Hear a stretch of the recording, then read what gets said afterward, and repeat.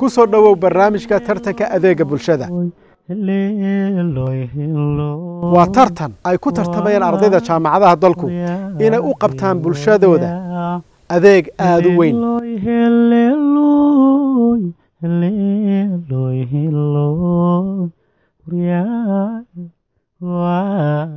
Bulshada ay u qabanayno noqonaysaa bulshada ugu baahida badan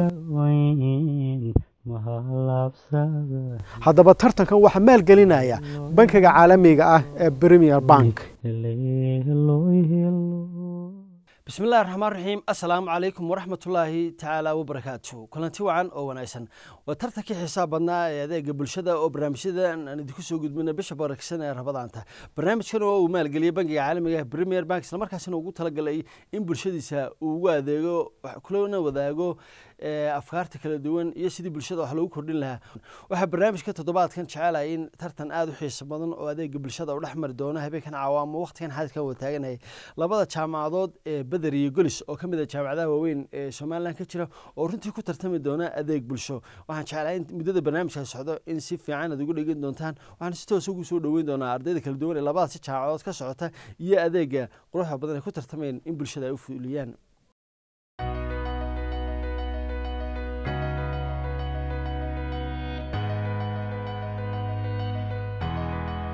waxaa hadda soo gelaya ardayda ka qayb gelaysay tartanka ee ka socotay jaamacadda golis. Magacaygu waa mahad bashiir maxamed. Waxaan ka socdaa jaamacadda golis university. Waxaan ka qayb gelaya tartanka adeega bulsho oo maalgelinaya brigham banka sidaan u caawino bulshadayada tabaalaysan ee jilicsan. Waxaa iyaguna hadda soo gelaya ardaydii ka socotay jaamacadda beder oo ka qayb gelaya tartanka. Bismillaahi raxmaan raxiim maanta waxaan bartan u joognaa inaanu ka qayb qaadano barnaamij. Aanu doonayno inaanu ku caawino dadka danyartaa degan caasimadda hargeysa oo ay maalgelinayso premier bank. Iminka waxa ay tartamayaashu gelayaan goobtii tartanku ka dhici lahaa.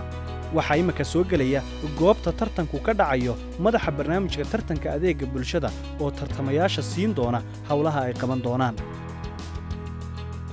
Bismi illahi raxmaan raxiim alxamdulilah wasalaatu wasalaamu calaa rasuuli sal slam dhalinyartan qiimaha badan wejiyadan qiimaha badan maanta waxaanu gelaynaa tartanka adeega bulshada marka labadiina gurub waxaad ku tartamaysaan adeeg bulsho. Adeegga runtii aad ku tartamaysaan waxa weeyaan warqadda halkaa ayay idinku qoranta. Waxaad haysataan waxa weeyaan waa twenty four hours lix labaatan saacadood baad haysataan. Oo laga bilaabo muxuu ahaye tobanka hadda muxuu ahaye markaa hadda hawshan dhamaysaan ka bilaamaya muddadaa laydin siiyey waxaa la rabaa inaad ku soo dhammaystirtaan oo aad wax la qabataan. Qofka warqadda idinku qoran iyo cidda warqadda idinku qoran aad wax la qabanaysaan labadiina guruub tartanka markaad gashaan midkiin baa soo baxaya midkiinna uu hadhaya haddaba oo kale baa idin bilaamaya allahuma salli calaa maxamed jaamacadda golis jaamacadda beder kole garanayo waxaad filinayseen bal waxaad filinayseen waxaad kaga soo baxa meesha allahuma salli calaa maxamed waxaad ku tartamaysaan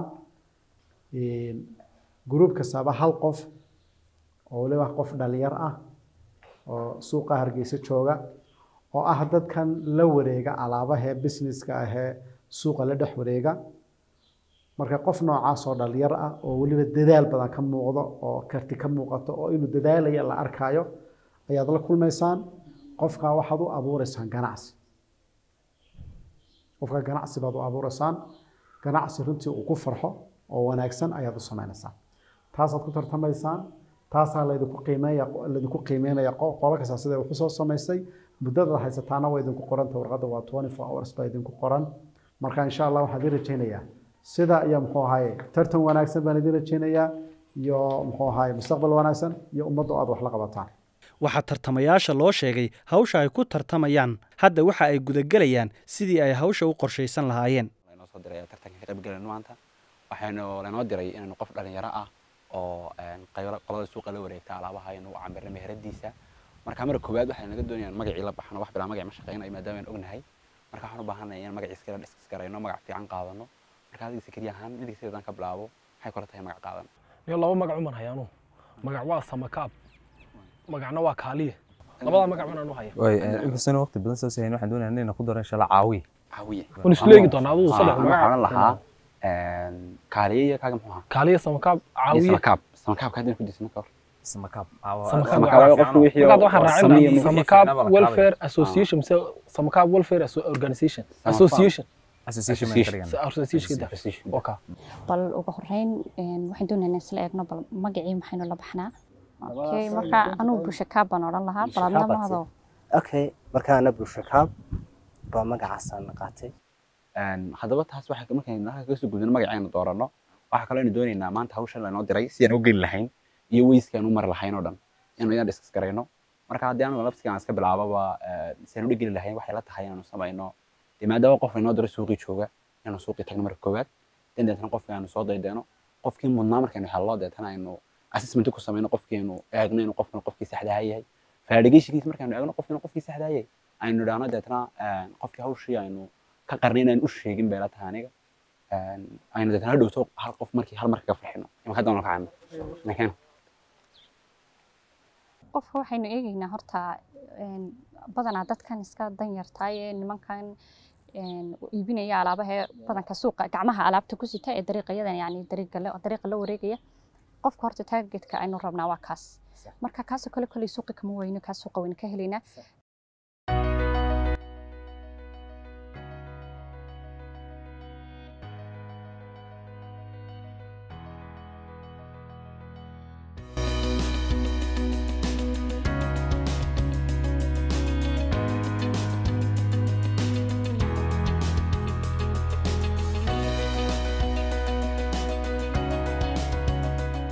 الله الرحمن الرحيم ما أنت حنص عنا أنا برنامج هي لو عاوني دت كأذن يرتاح ااا كتر تمين جعدة سمالان أنا قصي أنا هروش أجنو حنو كسر عني جعدة عالمي جاه بدر بدر إنترناشيونال يونيفرسيتي مكاو حندون إن شاء الله تعالى هنا نصوع وإنه قفكي قفكي قفكي ربحنا السنة نفهمه أي إنتون في الوجه طبعا لا دائما في برتمين السوق المسؤول كلنا هي واحد رجينا هوشين كم بهوشين كم بلعبتي إنتي هراوي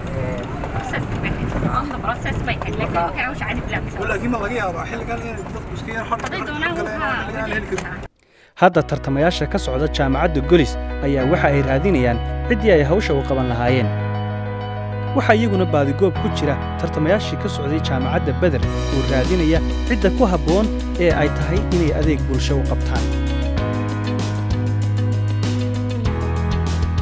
tartamayaashii ka socday jaamacadda beder ayaa helay dadkii ay adeegga bulsho u qaban lahaayeen marka haddaan isu kaa waranno ama isu kaa sheegno anigu waxaan nahay qolo ka- tirsan jaamacadda beder international university oo ka qayb galaysa tartan loogu talagalay in bulshada wax la taro oo dadka ganacsatada ee yaro la caawiyo marka maadaamaan u soconay hawsha adaan u aragnay inaad qofkii saxda ahaa tahay waxaanu doonaynaa inaanu hawl kula qabanno aanu hawl ganacsi kula fulino marka waxaan doonayaa markii hore waxaan kaa wareysanay waxaan ugu talagalay in waraysi guud inuu kaa qaadno laakiin imanka waxaan doonayaa inaanu reality kala hadalno iyo nolosha wixii aan u soconay maadaama aan anagu aan ahayn dee niman adiga wax kaa iibsanaya laakiin aan ahayn niman ujeedo u socday ujeedada haddaan hadda kaala hadlo waxaanu doonaynay walaalo investmentiga inaanu adiga kuu fulino oo ah maadaama maanta dee nin ganacsadaa tahay nin ganacsadaayoo dee hawshiisii wataa tahay oo doonaya hooyadii oo anfaco oo doonaya balwad aan lahayn saad noo sheegtay waxaan doonayaa bal inaad iga waranto investmentiga ama hawshaan qabanay maalgelinta haddaan af soomaaliya kugu sheego inaad bal noo tilmaanto bal waxyaalaad ku qabsan kari lahayd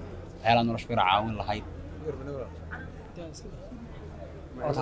ana hawsha aynkan hayo moodo inaan kor soo dayimka waxaan kor kor soo waday gacmahan haddii meekood la saaro kale inaan kor soo doonaya alaabta aad is leedahay suuqa way ugu fiican tahay oo waa la iibsadaa in badan oo maxay haytay waxna waad ka faa'iidaysaa oo hadhow tole waad ka dallici karaysaa maxay noqon kartaa maxaanu ku duldhigi karnaa koryoonkaas iyo iyo miiska dul saaran maxaanu kugu buuxin karnaa maxaad jeceshay inaad hesho? Taasi doonayna ku weydiin insha allah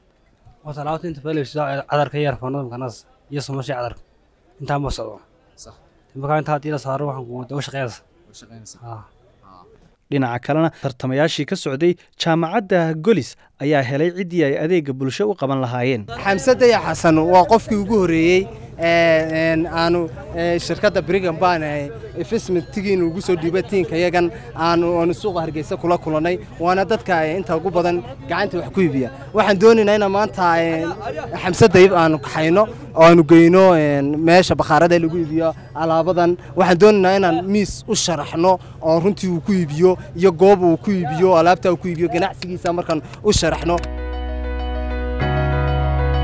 labada kooxoodba hadda waxa ay gudagaleen sidii ay u iibin lahaayeen ama ay u soo gadi lahaayeen agabka iyo alaabta ay ku caawinayaan cidda ay u qabanayaan adeegga bulshada. Tartamayaashii ka socday jaamacadda golis ayaana waxa ay bilaabeen inay hawsha gudagalaan oo adeeggii bulsho ee ay wadeen ay qabtaan. Sidoo kale tartamayaashii ka socday jaamacadda beder ayaa bilaabay inay iyaguna gudagalaan hawshooda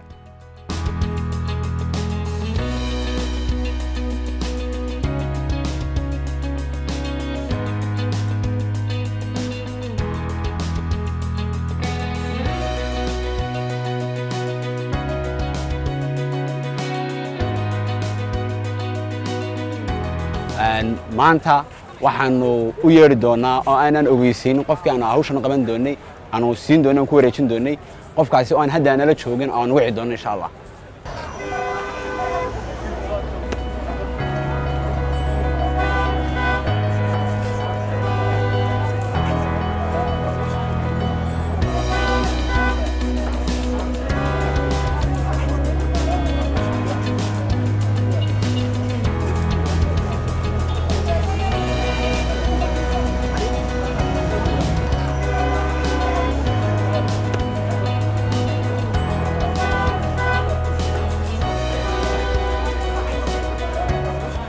magacayga cabdiraxmaan maxamed xuseen alaabahan iibin jiray alaabta gacanta ku iibiya iyayna badansaa galabtii yimaadeen way wareysteen marka alaabtana ma filinayay saaka ma filinayay waxaan ugu mahad celinayaa barnaamijka waxaan mahad celinayaa barnaamijkan mahad celinayaa aad ma faraxsanahay ma filinaynin alaabtanan iibiyaa maanta dee maanta hore maanta isku maanta waan ninkaa aan waxba filinay maahaye maanta waa filanaya alxamdulilah aad ugu mahad celinayaa waxaan kale ugu mahad celinayaa primary baan inamada inamada maalgeliyey ku mahad celinayaa alxamdulilah inamada jaamacadda ilaa shareeyay shareeyay aad ugu mahad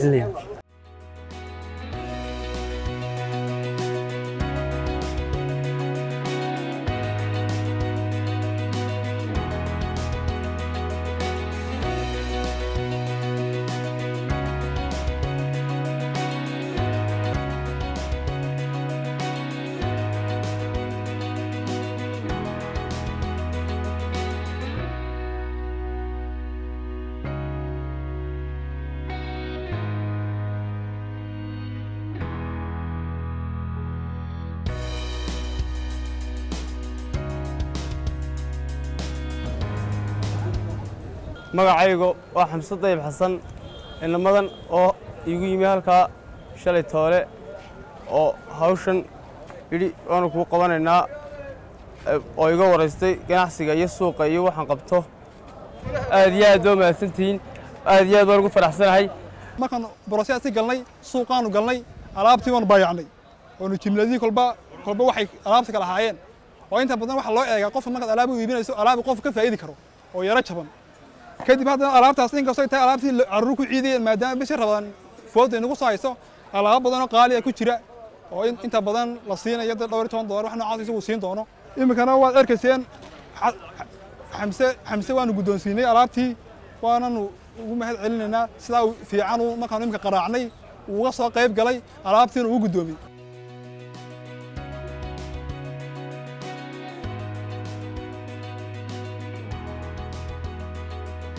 iminka waxaa bilaabmay inay tartamayaashu u soo bandhigaan guddiga garsoorka barnaamijka waxyaabihii ay qabteen. Waxaana hadda soo gelaya tartamayaashii ka socday jaamacadda beder oo soo bandhigaya adeeggii ay bulshada u qabteen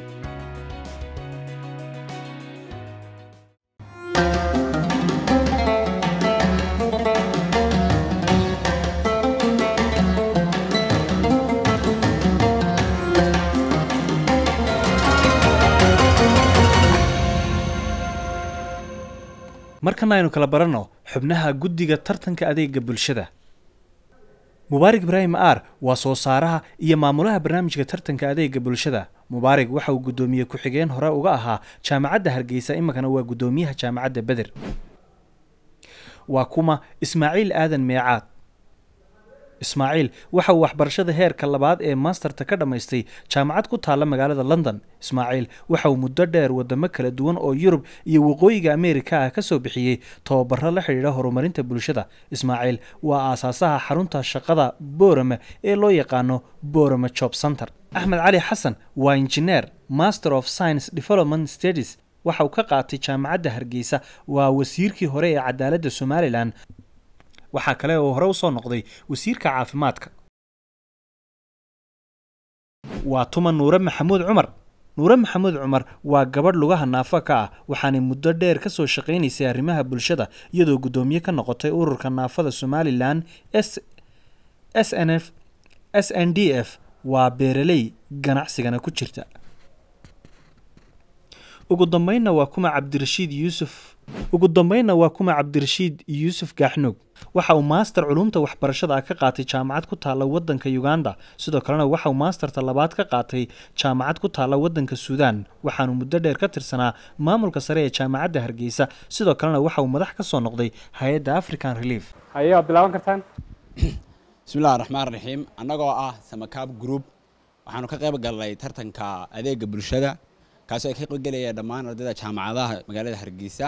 Waxaanu kaga qayb qaadanay oo ahaa bar mashruuca naloo diray nin dhalinyaro ah oo kuwa la wareega suuqa alaabaha inaanu kooriyaan u iibino islamarkaana aanu camirno kaariyoonahaas waxaanu samaynay inaan suuqii gobonimo tagno laakiin nasiib xunba waqtigu aad u kululaa waanu ka soo noqonnay kamaanaa soo helin cid aan u baahnayn. Waxaanu mar labaad ku soo noqonnay suuqii waaheen. Waqtigu waa labadii ilaa labadii afartan weeye. Waxaanu la kulannay nin dhalinyaro ah oo hoos fadhiya mid ka mid a shirkadaha wax lagu xaysiiye boorkooda oo halkaa dhigtay alaabtiisii yarayd cadceedda kulli darteed waxaanu waraysanay sidii caadigeed baanu isagana waraysanay waanu ka tagnay waanu sii wadanay haddana waraysigaygii waqtigu markii uu ahaa afartii galabnimo waxaanu samaynay in anagu tiimkayga fadhiisanno falanqayno bal kay ugu habboonaa inaanu hawshan u qabanno. Waxaa noo soo baxday inuu cabdiraxmaan oo ahaa ninkii halka hoos fadhiyay yahay ninka ugu habboon. Waxaanu ku dooranay anu kuwa kale kaga doorbidnayna waxay ahayd inuu ahaa nin dhalinyaro ah inuu ahaa nin karti oo doonaya inuu wixiisan sii horumariyo. Isagoo ka soo bilaabay noo sheegay in wax yar markii hore ku bilaabay. Cadaro yar uu siday haddana uu sitay wax yaroo aad u sii banin laakiin uu horumar sameeyey. Waxaa kaloo ku dooranay inuu ahaa nin aan balowda lahayn. Waxaa kaloo u sii dheeray isaga inuu u shaqaynayay hooyadii xanuunsan taasoo degan miiga magaalada uu ka yimid oo weliba qaadataa daawo u soconaysa shan sano oo nerviska ka qaadataa dhakhtarkan gaboose waxaanu u samaynay inaanu markii dambe isaga la eegnay waxyaalaha uu awoodo uu iibin karayo aanu siinay isaga bartisin baawarka isaga waxaanu nageeyey meelihuu ka soo iibsan jiray. Waxaanu eegnay kuwa ugu jaban waxaanu u iibinay kaaryoonihii waanu u camirnay waxaa kaloo ugu darnay waxyaala fasilitisa sidaan u siinay dalaayadoo kale wacdaada ka hadhsado laambadu habeenkii fistiisado iyo gambadhu ku fadhiisto oo kale markuu daalo. Waa mahadsantihiin samakaab team. Bal xagga lacagta saad lacagtaad haysteen iyo saad u isticmaasheen iyo xisaabtaa waxay nooga taabtay. Waay bismillahi raxmaan raxiim kolleyto waraaqdii aanu soo dirnay ayay ku wada qornayn dhammaan unitiska cosiska aanu galnay. Cosiska aanu galnay haddii aan u imaado waxaanu galnay alaabo badan baanu iibinay. Waxaanu ku fadhiisinay. Lacagtii lanoo dhiibay oo bushqada lanogu dhiibay oo ahayd four hundred thousand four hundred dollar. Markaa lacagtaas waxaanu ku camirnay karyoonkii markaa waxyaabahaan odhan karo waxyaabahaanu iibinay waxaa ka mid ahaa alaabaha uu cabdiraxmaan ninkaanu caawinay uu inta badan garanayey sida loo iibiyo sidoo kale isagaanu noo sheegay waxyaabaha inta badan suuqa ka socon karaya. Waxyaabahaasoo dhan waanu iibinay maasha allah waanu u buuxinay koryoonka waanu camirnay. Oo haddii ifan aad aragto fideoga laga duubay isma odhan karsid lacagtan koryoonkan buuxa iyo alaabtan saaran afar boqol oo dollar weeyaan. Markaas alaabaha aanu imaado lacagta xagga lacagta waxaanu iibinay alaabo badan baanu iibinay oo gebigeediba koleyto bartanay ku wada yaalaan wuxuba oo midmid looma sheegi karay waa alaabo badan. way kaa dhan tahay maxaad cabdiraxmaan gaar ahaan ugu doortay oon u dooran waayey cali iyo cumar kale. Horta taa koska waxaan ku darnay annagu jabka aan kaga darnay waxay noqotay afar koob iyo afartan dollar baan ku darnay annagu. Markii kadib intii isaga afartii boqol naloo dhiibay. Waxaa kaloo ku dooranay cabdiraxmaan aan u dooran weyna kuwii kale waxa weeyaan. Qof kasta markaanu ka qaadaynay interviewgan hore ayaanu eegaynay qofkan iyo baahidiisa iyo iyo dhammaan imse qof baad interview ka qaadeen? Toddoba qof. Isla suuqa waa heen jooga? Isla suuqa waa heen iman iman baan ka qaadan toddobada qof bay joogeen. Laakiin suuqa gobonimo laftigiisa waan tagnay waqtigoo duuraha aawadiisa laakiin cid kama helin goormaa dhammaysan marka shaqada? Anigu wax shaqada waxaanu dhammaynay afartii galabnimo. Ayaanu dhammaynay inaanu hawshan soo qabanno laakiin hawsha inaanu ilaa kaariyoonkii ilaa camiraadiisii ilaa wixii oo dhan oonu tagna miiskii laga sameynaya faaradii waxaanu u dhammaynay ilaa iyo tobankii habeennimo ayaan ugu qaadatay taa ma odhan karnaa timeka leedahay in ku talagal waa dhaafteen? May iyo tobankii subaxnimo ahayd iyo tobankii subaxnimo brit hore markaa naga eekada anaga faraatanka saaco. okay tamam. Maxaa idinku kalifay inaad lacag ku dartaan? Ma baahidaasi ma waxaynan afartan boqol ma waxay isgoosatay ayadoo waxyaabaha qaarkood aad doonaysaan inaad ugu camirtaan ay harsan yihiin ayaa soo baxday markaasaa lacag dheerada aad u baahatay inaad idinku aad ugu dartaan. May marka la eego blow woodkaanu ka samaynay miiska oo alaabta dul dhiganayo oo aad u weynaa oo one meter square ahaa waxaa soo baxday in meelo fara badan nagu soo bannaanaadeen. Kadib markaanu analyska la samayno waxaanu ogaaday alaabo kale oo soconaya oo aan anagu mutadawacanimo ugu dari karno inay jiraan. Kadib saasaan u galnay qarashkaasi si uu miiskiina u qurux badnaado alaabahana ay u iibsamaan oo looga iibsada isaga horta qof qof kaariyona wataa in suuqaa weyn laga helaa. Waa hawl culus weeyaan. Laakiin reer waad qabateen. Ma meel mucayan oo xadidan buu markaa qofku la fadhiisanaya alaabada uu ku iibinaya. May sida caanka ah imika haddaad suuqeena tagto tusaale ahaan halka ugu caansan waa telesoomta agteeda haddaad tagto dadkaasi waxa ay la wareegayaan kaaryoonka oo ay suuqa kula dhex marayaan. Kolba meel buu la istaagaya qofkaasi. Mana laha meel cayimanoo istaagayo? Tusaale ahaan imanka bil kadib haddaad istaadaan bal ninkii ka daba taga haa waanu soo heli karnaa. Waxaanu ku soo waxaanu ku heli karnaa. Laba shayba. Waxaanu helnay dad garanaya cabdiraxmaan markii hore. Aadan oo kale tusaalaan waxa weeye aadan nin ka ganacsada suuqa kaasoo noo sheegay nolol maal noloshiisa nooga warramay aadan cabdiraxmaan noloshiisa nooga warramay iyo cabdiraxmaan nin ay aad saaxiib u yihiin oo isna suuqa meherad ku haysta kaasoo isaguna markii aanu cabdiraxmaan alaabta guddoonsiinanay nooga warramay oo yidhi niyow way xanuun badan tahay wuhi qof aad saaxiib haydano aad isku meel wax ku ganacsan jirteen inuu kaa tago balse aad baan ugu faraxsanay horumarka uu sameeyey. Waxaana rajaynayaa inuu hore u sii socdo. Inay waxaanu ku ogaanay markii uu alaabta nagala guddoomayey ayuu u imaaday. Markii hore laakiin waraysiga aanu siinayna isku meel bay ku ganacsanayeen oo way is eg joogeen saaxiibka kulley wuxuu ka bixinayaa waa war wanaagsane taa laguma go'aan qaadan karee. Laakiin waxaan idin weydiinayaa ma waxaad naga dhaadhicinaysaan haddeer intaanu suuqa waaheen tagnay? Baanu ka weynay qof keryonla ila waxaad tidhahan waanu tagnay waanu ka soo weynay wixii aanu doonaynay waxaanu ku soo noqonnay waaheen markaasaad waaheen dhaata ka ururiseen may kriteeriyada naloo diray markii hore ma ahayn qof kaaryoonlaah waxa uu ahaa qof jeebla oo gacanta kula wareegaya alaabaha kaaryoonla muhayn markaa gobonnimo male miyaa qof kula wareegaya gacan. Gobonnimo tusaalahaan haddaad aragtay oo kale gobonnimo waxay leedahay dad kaaryoonlayaal ku ganacsada iyo meherado waaweyn bay leedahay. Wayna adkeyd wakhtigaasi inaanu helno dad la wareega waa labadii duhurnimo dadku laba u qaybsamayeen dad hurdo tegey iyo qaar qada tegey. Intaas u qaybsamayeen. Weli waxaanan ii caddayn boqol kiiba boqol sababta aad ku doorateen cabdiraxmaan? Koleyto sababtaanu ku doornay way badnaayeen eeg waxaa kale jirta saddex kriteriyo kriteriyada koowaad waa tii waraaqda noogu qornayd. Kriteriyada labaadna waa mid aanu diskas garaynay ta saddexaadna waxay ahayd mid markii aanu analysiskii ugu dambeeyey sameynaynay aanu kala dooranay toddobada qof aanu waraysiga ka qaadnay aanu ku sii dooranay cabdiraxmaan. Haddaanu imaado jaamacadda lanaga siiyey waxay ahayd waxaad kooriyaan u camiraysaan nin ka mida kuwan jeeblayaasha ee saacadaha iyo waxyaabaha ama diracyadii waxaa la wareega ayaad u camiraysaan kooriyon taas waa kriteriyadii koowaad shan mirir oo lana siiyey kabacdi. Annaguna waxaanu markaanu diskas garaynay waxaanu ku darnay kriteriyooyin badan oo ay ka mid ahaayeen qofkan aanu doonanaynaa inuu yahay sidii lanoo sheego horta waa dhalinyar qofkani. Waa qof u dhexeeya da-dood garanaysaan dhalinyarnimo sidoo kale qofkan aanu dooranaynaa inuu yahay qof balwad ka madax bannaan because of markii qofkii uu wixii iibiyo wixii soo baxaya uu cunaya waaye marka saddexaad kriteriyada saddexaad waxay ahayd qofkani inuu yahay qof laga dambeeyo oo ama family leh ama ama qof hooyo aabba leh. Ay ku tiirsan tahay. Marka waxaanu ugu darnay cabdiraxmaan waxaanu markii aanu analysiska sameynaynay waxaanu keliya tama aan waraysanin dadkan aan wax siinano. Ee waxaan waraysanay dadkan inta badan suuqa jooga ee bulshaawiga ee dadka dhex gala ee kala garanaya dhalinyarada ganacsanaysa. Marka wuxuu noo sheegay cabdiraxmaan inuu yahay qof cibaado leh isla markaana hooyadii hooyadii xanuunsan insha allah lacagtoo diro waxaa sidoo kale hadda soo gelaya tartamayaashii ka socday jaamacadda golis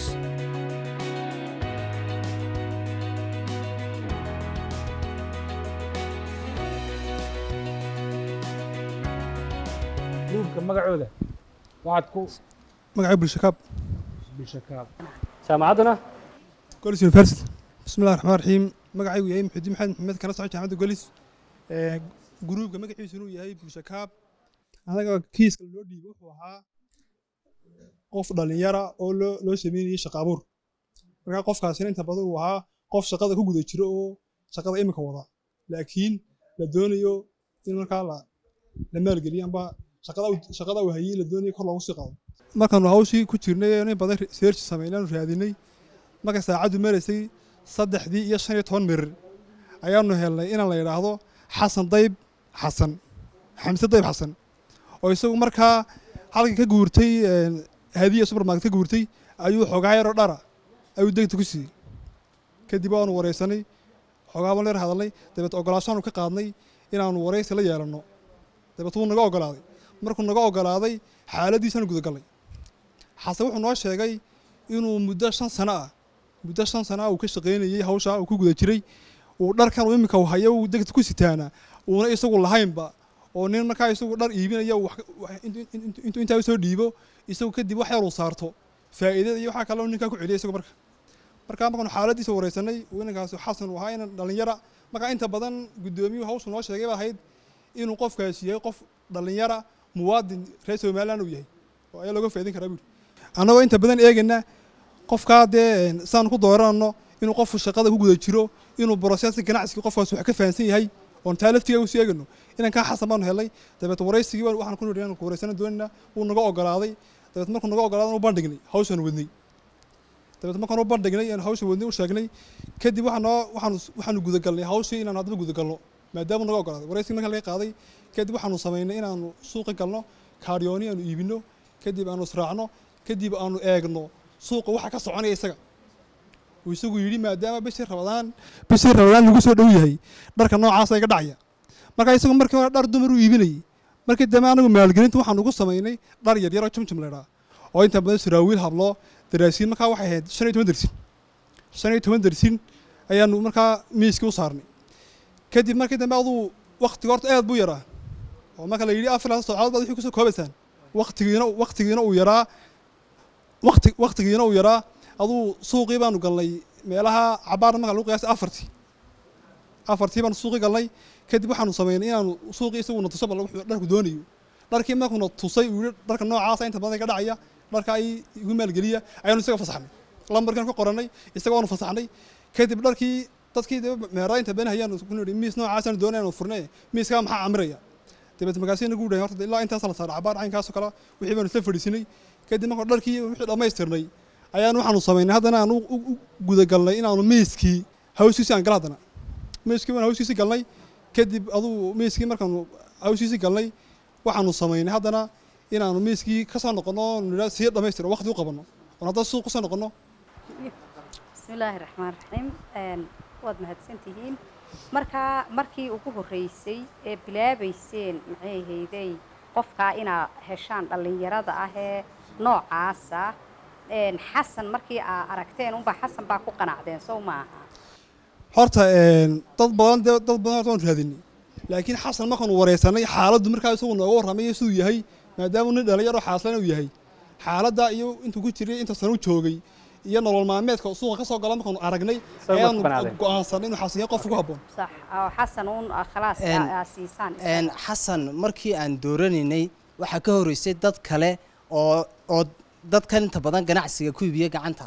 Ayaan waraysi badan la yeelanay. Markaa waxaa noo soo baxday inuu yahay xasan ninkii ugu habboonaa xasan waa nin dhallinyar ah oo markii horena la siiyey naliiri gaadhlayn ka raaca.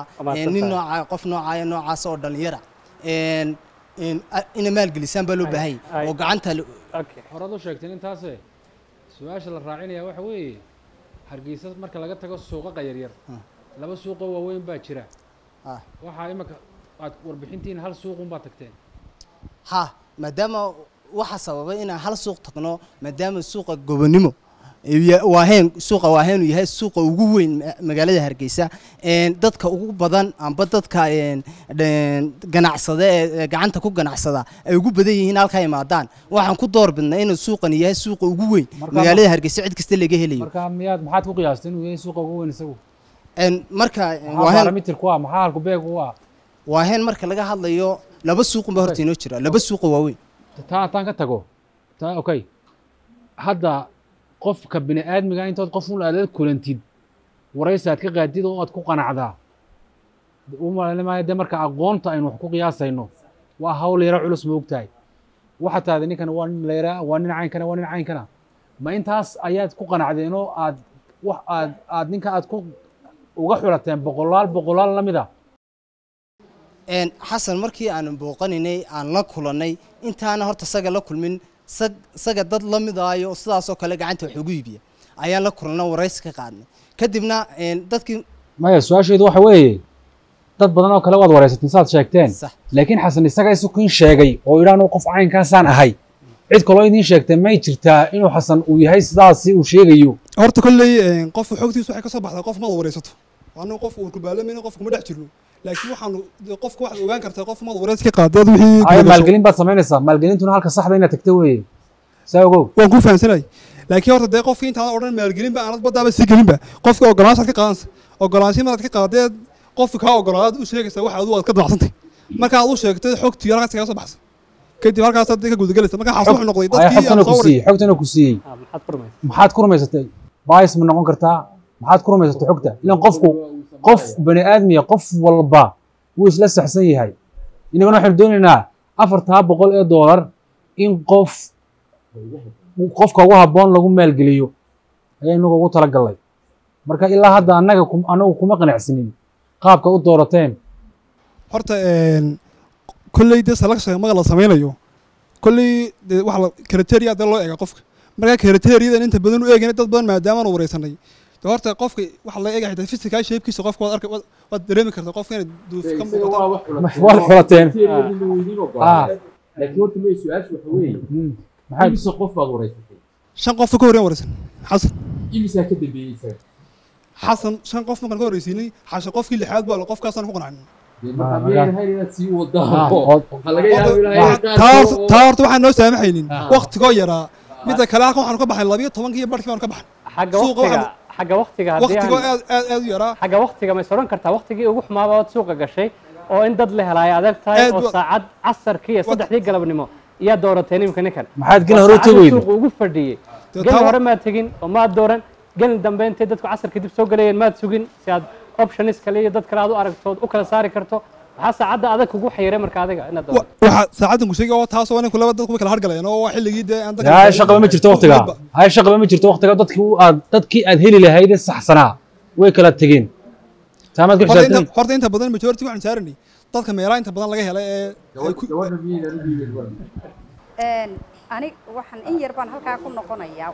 Ha, Ah, waana macquul. Ee, eeg xasan markaad dooranayseen waxyaabihii aad ku doorateen kow laba saddex maxaa ka mid ah ugu horreyn anaga criteriana la siiyey qofkaanu ku dooran karayno. Iskamaanaan dooranaynin choicekana anagu maanaan lahayn.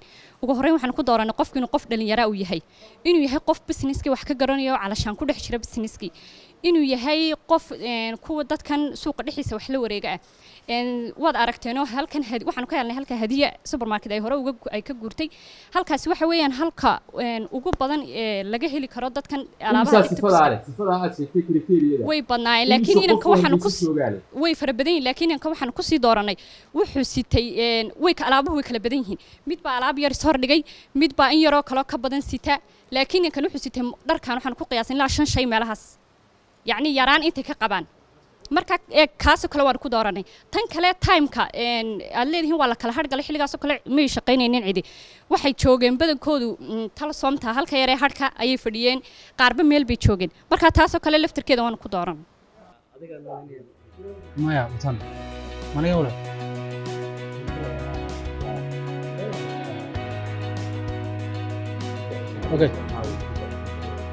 Okay bismi illahi raxmaan raxiim habeenkan caawa ah oo tartanka adeega bulshada ay ku tartamayaan ardada jaamacaduhu waxaanu soo gaadhnay gebagabadii iyo yeedhintii natiijada la yeedhinayay. Natiijada intaan la yeedhin ka hor qolo walba waxa la weydiinaya amba group walba laba su'aalood. Su'aasha koowaad waxa weeyaan haddii aad guulaysataan maxaad is leedihiin? Guushiina waxaasaa idinka caawiyey. Su'aasha labaadna waxay noqonaysaa haddii laydinka guulaysto maxaad isleedihiin guuldarrada amba guushaa laydinka helay. Waxyaabahaas amba waxaas ayaa sabab u ahaa. Qolo walba waxaa laga codsanaya inay sida sida u ugu kooban ee ugu fudud ay u soo gudbiyaan jawaabtooda. Bismillahi raxmaan raxiim haddaan guusha ka horreeyo horta contribution baan ku darsanay. Ah, agabkii inta badan adigu ama kursi ha noqoto amba noqoto amba ha noqoto bacdii uu saarayey aduu agabo badan oo riboodka soo gudbinay ku xusan. Oonu soo gudbinay.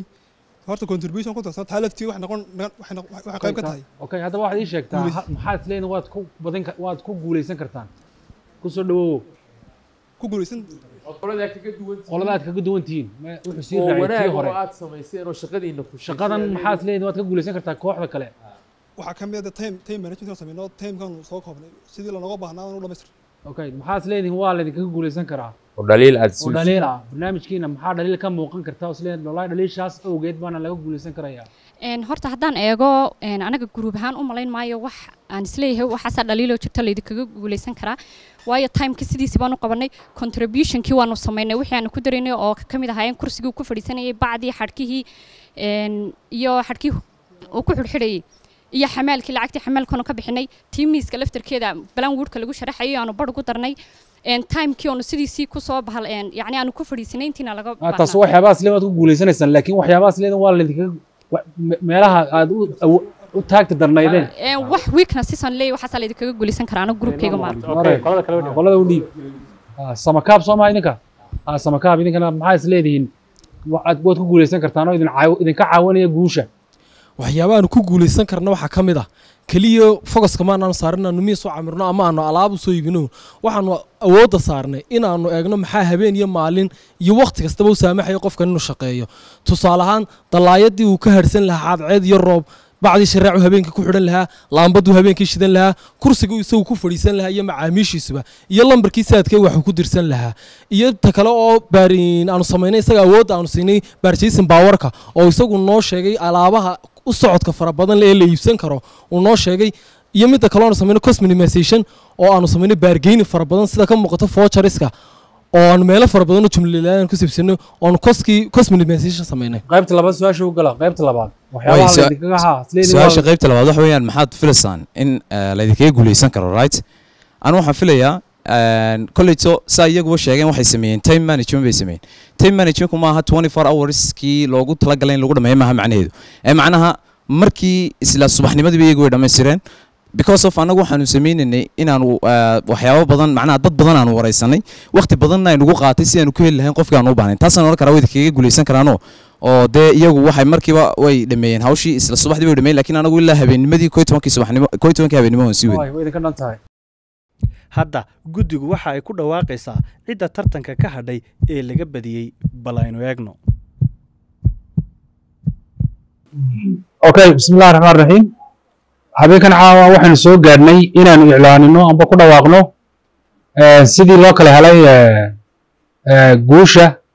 Kooxda markaa aan caawa halkan baratankii laga dheeriyey waxa weeyaan waa kooxda la yidhaahdo samakaab markaa samakaab waxaanu ka codsanayna u rajaynaynaa iyagana guulo dambe oo fara badan inay gaari karaan saaxiibadood inay hambalyeeyaan waana mahadsantihiin